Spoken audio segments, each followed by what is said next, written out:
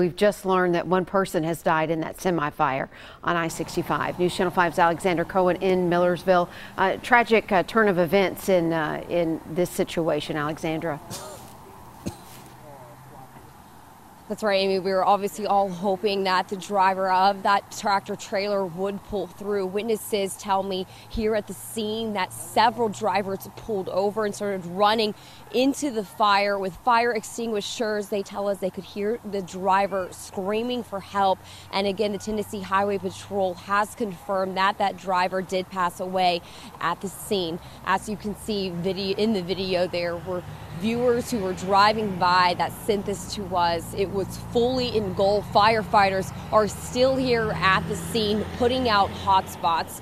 I'm told that this tractor trailer was carrying food products and uh, the diesel that was in that semi was scattered all over the roadway. That is one thing they're working diligently to clean up right now. Again, both lanes of 65 North are still shut down. They're diverting traffic at exit 98. It's causing major backups, and some of the people who were right behind this crash have been stuck here for several hours now. It's complete gridlock, but as you can see back out here at the scene, it is still smoldering. The firefighters are still suited up, working to put out this fire. Reporting live, Alexandra Cohen, News Channel 5. Alexandra, thank you for the update. What a tragic story. And another sad story. 24-year-old has died after being shot in the head in the Midtown area. News Channel 5's Dan Kennedy has been on the scene near Church and 19th all morning. And Dan, I know the victim tried to run for help, just, uh, just didn't make it.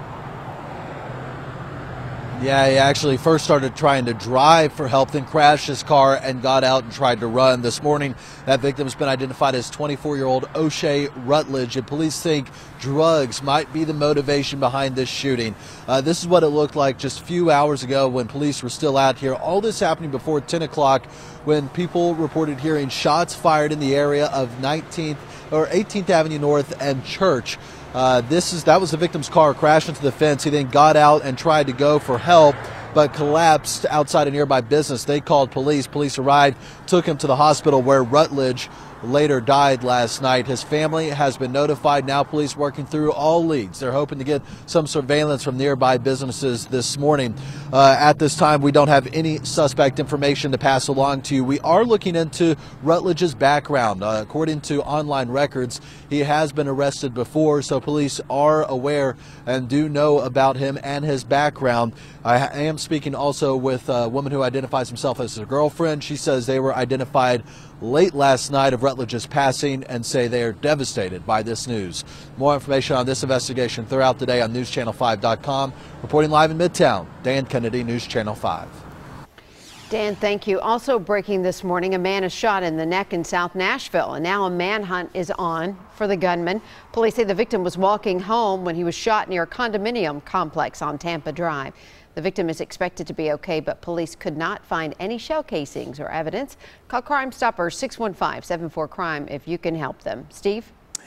Amy, we've got more breaking news we've been watching this morning. A home is destroyed after an early morning fire. Boy, take a look at those flames right here. News Channel 5 Sophie Nielsen Kolding arrived there just as the flames were shooting through the rooftop, and it looks like this was a home renovation gone wrong. Well, neighbors told firefighters that the home was being renovated at the time. Now that it's light out, you can see the extent of the damage from that fire. Take a look at some of this video. We got here just before 4 o'clock in the morning, and this is what the house looked like at that point. Big orange flames shooting out of the roof, uh, completely destroying the inside of the home. Firefighters were inside for a while, making sure the hot spots were out, and smoke still continued to come out of the the roof. Firefighters say there was power on in the house, and that's why they think an electrical malfunction is what caused this fire. They say it started in the front right corner of the home uh, near the roof. And if you come back out to us live, I want to show you that just one driveway away on the house next door, take a look at the siding. That's how hot these flames were. Completely melted and peeled back the siding on the side of the house. Kind of looks like tree bark or something peeling off of a tree. That's how hot this fire was. Luckily, nobody hurt in all of this. The home was empty. That's the good news in all of this because this house is a complete loss. Live in South Nashville, Sophie Nielsen Kolding News Channel 5. Sophie, thank you. Developing news now. Two Fort Campbell soldiers are being held as persons of interest in connection to the disappearance of a fellow soldier. 25 year old Shadow McClain has been missing for 53 days. Her car was found in a parking lot in downtown Nashville last month, but there haven't been any other clues. Her family hopes this is a sign they're going to have more answers soon.